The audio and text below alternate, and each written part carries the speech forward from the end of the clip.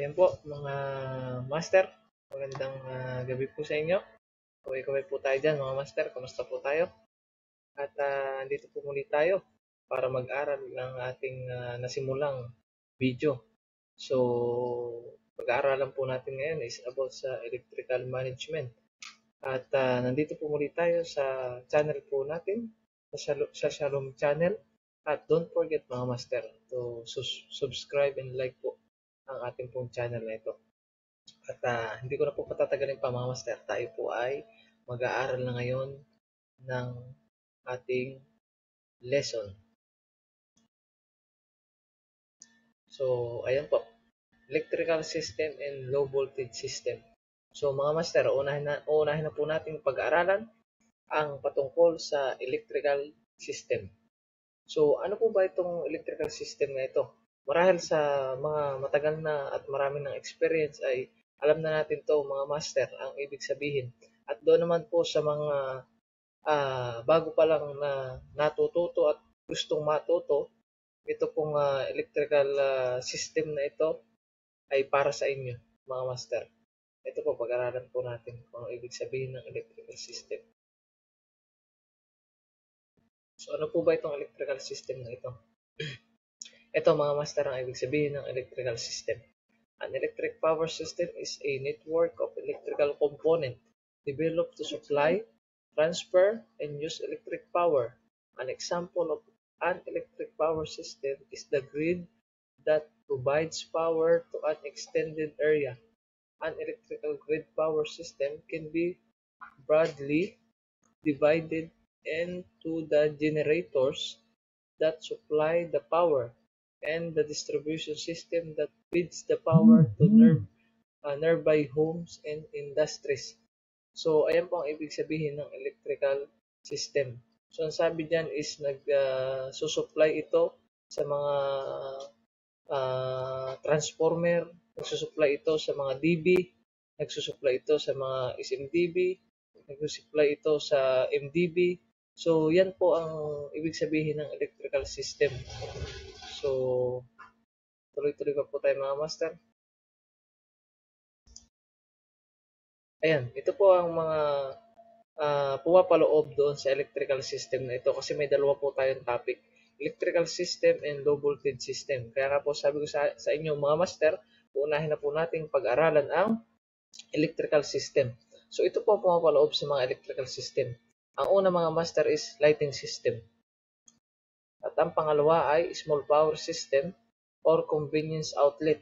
So dito po sa Middle East, uh, ito po ang tawag dito ay small power system. At sa Pilipinas naman po mga master, ang tawag po dyan ay convenience outlet or CO. At uh, pangatlo mga master, emergency lighting system. At pang-apat, lighting control system at DALI system. So ano po bang ibig sabihin nitong DALI system na ito? So, sa mga hindi pa po nakakalam ng meaning ng DALI system na ito, mga master, ibig sabihin po nito is Digital Address, Addressable Lighting Interface. So, pag-aralan muna natin, mga master, ang lighting system. So, ito po ang ibig sabihin ng lighting lighting system or illumination. So, sabi dito, mga master, is the deliberate use of light to achieve vertical or uh, aesthetic effect. Lighting is includes that use of both artificial light sources like lamp and lighting fixtures as well as natural illumination by capturing daylight.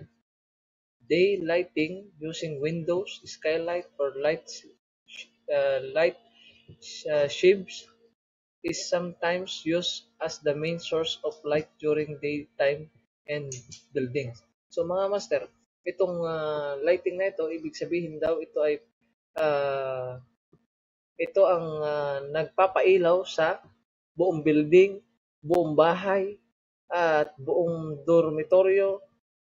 Dahil kung walang ilaw mga master, paggabi na ay madilim. So itong ilaw na ito ang nagpapaliwanag sa mga bahay natin. At pwede rin natin gamitin ito sa mga tulay, sa mga iska, sa mga iska, uh, sa mga ano natin, main door natin, sa mga gate, para maliwanag, and din sa mga window natin. At uh, yung sikat sa atin mga master, ngayong uh, panahong ito, ang sikat sa atin na ilaw or nung nakaraang mga taon ay yung tinatawag nating LED strips. So ano po ba yung LED strip na yon? Mamaya mga master, malalaman po natin kasi magbibigay ako ng mga sample about sa mga ilaw. At uh, marami po akong sample na ginawa para sa inyo mga master. Kaya wag po ninyong uh, puputulin ang panonood mga master. Tuloy-tuloy tuloy-tuloy po nating uh, panonoodin ito para makita po ninyo kung ano po yung mga ginawa kong mga sample. So ito mga master ang mga ginawa ko pong sample. So, yan po ang tinatawag natin na floor lamp. At ito naman ang tinatawag nating table lamp. So, meron po tayong dalawang sample dito, floor lamp and table lamp, mga master. So, ito po, mga master, ang nakita ko pong sample. At alam ko po na marami pong marami pong uh, design ng mga floor lamp, marami pong design ng mga table lamp. Tandaan po natin yung mga master. Marami pong design ng floor lamp, marami pong design ng table lamp. So, ang tanong mga master, ginagamitan ba ito ng uh, transformer o driver? Or ito ba ay direct na uh, binibigyan ng supply? So, ayan, sasagot, sasagutin po natin yung mga master. So, ito pong table lamp na ito and floor lamp natin mga master, ito po ay direct po na 230 volt Ayan, AC po tayo mga master. Ito po ay direct to 30 volt AC. Kaya hindi na po tayo uh, mag-iisip pa kung ano po ang uh, uh, uh, kung paano po ang pagpapailaw nitong floor lamp and table lamp. Madali lang po yung pailawin. Kahit po sa saksakan mga master ay uh, magagana po yan mga master kahit sa ating uh, saksakan. So, ayan po mga master. So, may mga ginawa pa po akong ibang mga sample. Katulad nito. Yan mga master. Ang chandelier light. So, ayan.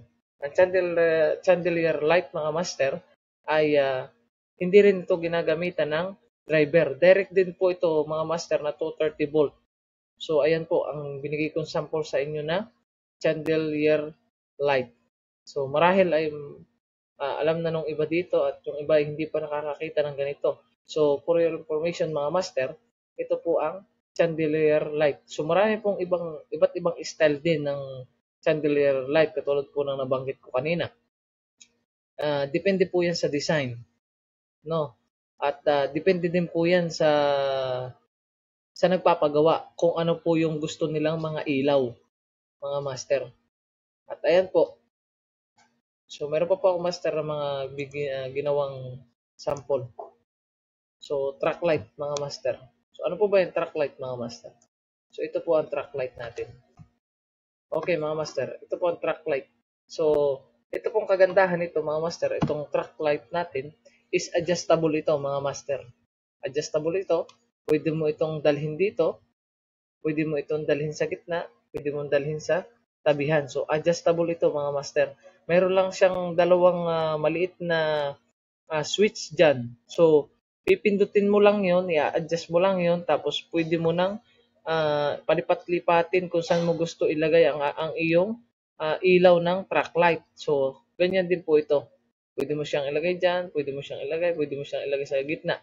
At yan po ay direct din po to 30 volt AC mga master.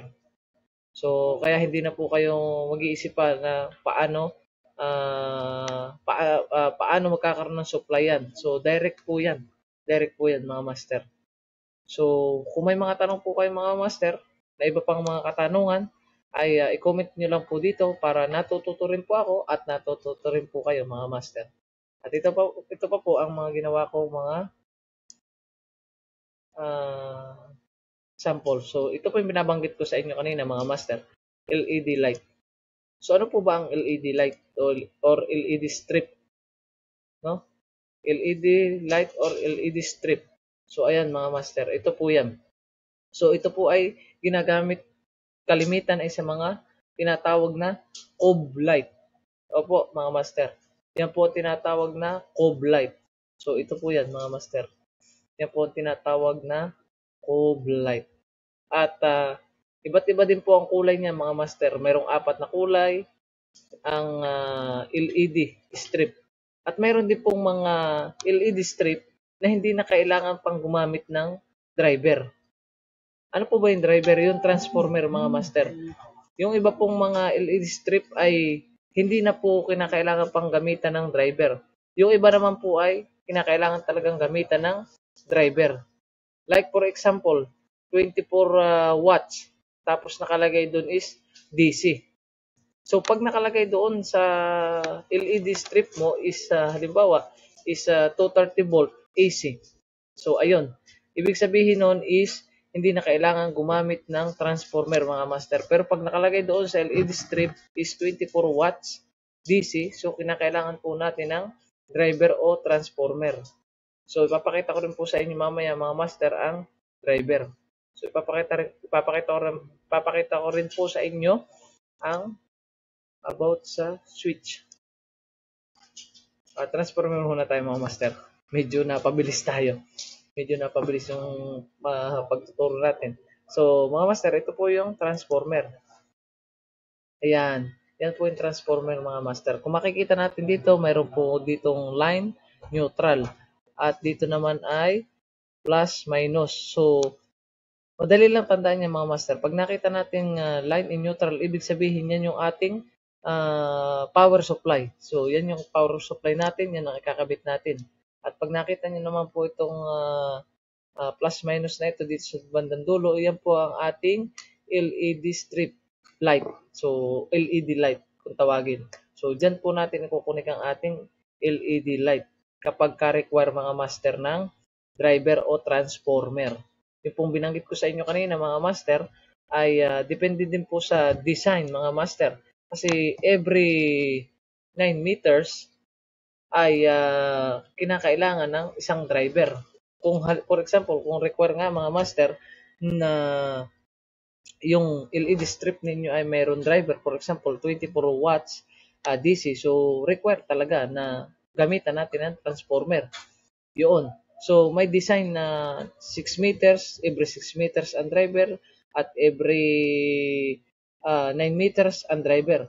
At paano po ba natin malaman mga master kung anong watts ang gagamitin natin sa ating LED. So, ayan po magandang katanungan mga master. So, gagamit ako ng calculator ko dito sa aking uh, mahiwagang laptop. So, ito po ang aking calculator mga master. So, ito po mahalaga mga master na tandaan natin, yung LED strip ay may nakalagay din po doon kung ilan po yung uh, watts niya. For example, 1 watts, ang isang watts niya is 14.25.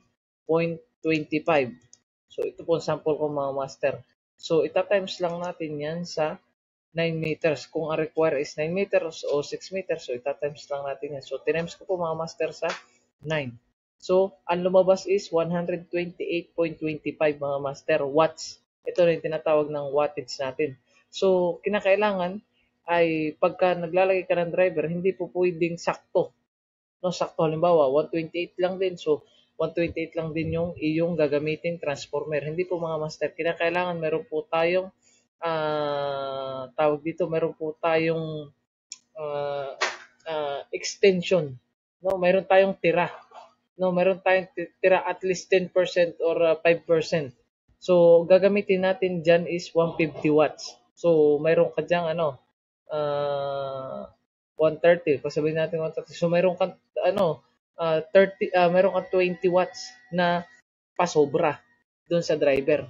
Kasi kinakailangan mga master 5% or 10% is may pasobra ka sa driver mo kung require yung LED mo. Katulad naman binanggit ko mga master kanina ay uh, minsan ay require yung LED strip natin ng driver. Minsan naman ay hindi. Depende po sa design. Kasi may nakalagay doon is 230 volt uh, AC. Kapag nakita natin uh, 24 uh, watts, uh, sorry, 24 volt, uh, DC, ibig sabihin kinakailangan natin ng transformer mga master. At uh, okay na po. Kung may mga katanungan pa po kayo, wag, uh, wag niyo kalimutan mga master na mag-comment. Para naman natututo na ako, natututo rin po kayo mga master. So, uh, share, nagsishare lang tayo ng uh, natututunan natin. So, ito naman po ang sa lighting switch. So, nagbigay din po ako mga master ng uh, lighting switch sample. So, iyan po ang lighting switch sample ko mga master. Marami pong klase ng mga switch mga master. Mayroong 3-way, uh, may 4-way. Sa Pilipinas ang tawag is 3-way, 4-way.